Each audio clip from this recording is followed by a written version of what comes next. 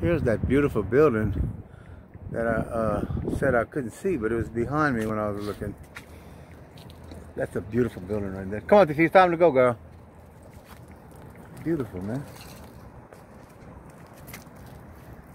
And I thought Georgia was an ugly state. I was wrong.